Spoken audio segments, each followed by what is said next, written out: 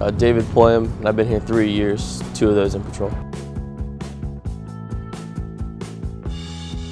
I like the different opportunities with different mindsets you come across. I like working with different people who have different viewpoints and that we can all kind of come together under one common goal and make a success happen. Outside of work, I like to read. I've started powerlifting at the Gold's Gym in Richmond City. I like to run a lot, especially in like the fan carver areas.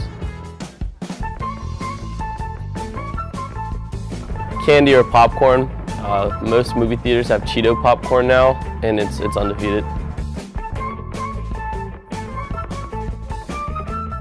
I like owning books. One of my dreams is to have a full library in my like, future house, so I like to buy them, even if they're kind of like torn up a little bit. I think it gives it history.